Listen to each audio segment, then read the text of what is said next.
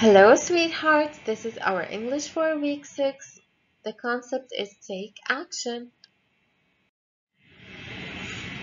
The story is A World of Change. The genre is expository text, which explains facts about a topic and includes text features, for example, diagrams and headings. We'll start with our new vocabulary words, then the phonics, later the grammar. The first word is alter. It's a verb, an action. Here in the picture, this girl was watching the weather and it seems like it's raining. It started to rain. When she saw it was going to rain, she had to alter her plans. So she could, she couldn't stick to her plans. She couldn't go out and enjoy her time outside. So she had to change her plans. Alter means to make different or change. Collapse, it's a verb. In the picture here we see kids, they have built a fort. This is a fort. Out of what? out of sticks and do you think it would be uh, it would be it would last long? Of course not. It would be fragile. It would be easily broken or um, it would fall down easily. The fort we made of sticks was so fragile we worried it would collapse. So collapse means to fall down Crisis. It's a noun.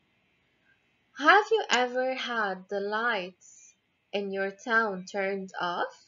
Well, it might happen. And would it be a good thing?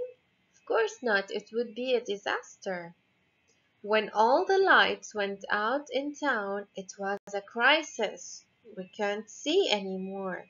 So crisis means a difficult or dangerous situation. Destruction, it's a noun. So here we see the waves hitting the trees. The trees are falling down, they are destroyed.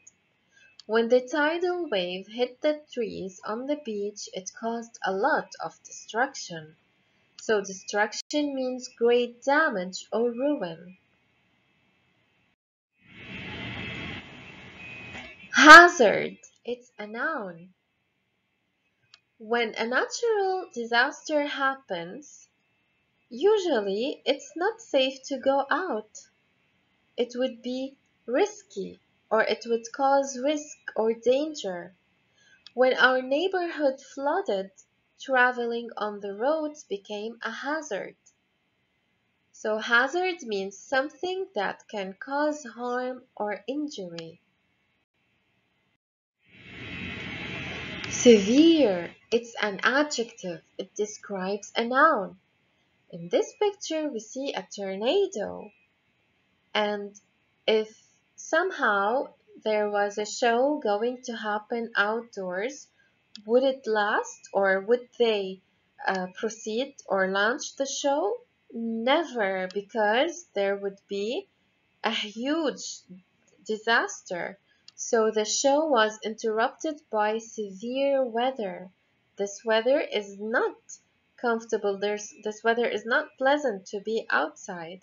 So severe means very harsh or serious. Substantial. It's an adjective.